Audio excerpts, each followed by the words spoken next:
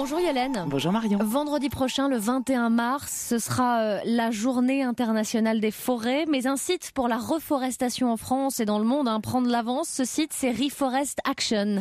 Oui, absolument. Ils ont lancé une campagne qui s'appelle 1000 entreprises pour un million d'arbres. Donc euh, le but est clair, hein, c'est de réunir 1000 entreprises pour planter au moins un million d'arbres. Ça, c'est clair. Voilà, en trois ans. Alors pour Stéphane Allaire, qui est le fondateur et le dirigeant de Reforest Action, bah, les arbres sont vraiment au cœur de tous les enjeux et euh, demander euh, aux entreprises françaises de s'engager, c'est vraiment une façon d'agir concrètement. Et puis c'est vrai que le, le, grand public aime bien ça, ça c'est vraiment une cause qui, qui passe bien. Mmh.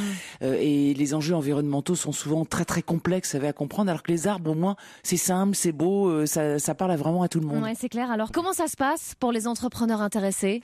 Alors il y a plusieurs façons de s'y prendre. L'entreprise peut inviter ses collaborateurs et ses clients à planter des arbres qu'elle va financer via, via le site. Et puis une fois l'arbre planté, ça c'est bien, il y a une newsletter qu'on va vous envoyer pour avoir des nouvelles comme ça une fois par mois. C'est du suivi. Voilà, donc on n'a pas l'impression d'être un peu euh, d'être un peu abandonné. euh, un des intérêts de cette campagne, c'est comme ça se fait déjà depuis plusieurs années au Pérou, en Inde, etc. Mais c'est que ça va se faire aussi en France. C'est bien de penser à notre pays, surtout que là on vient quand même de souffrir de, de terribles tempêtes. Et de nombreuses. Hein. Voilà. Alors les entreprises peuvent aussi sou soumettre leurs propres projets si elles le souhaitent, hein, ou alors participer à des sessions de plantation qui vont être organisées chaque année en France, en invitant là une fois de plus leurs collaborateurs et leurs clients.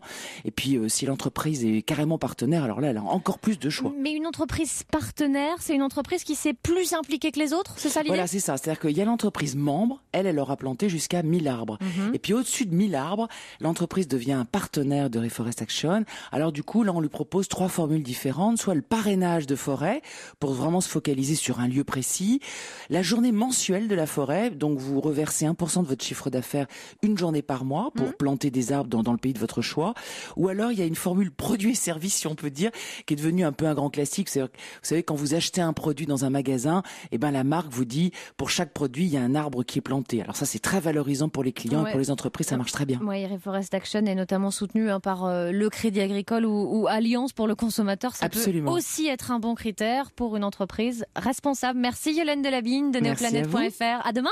Au revoir.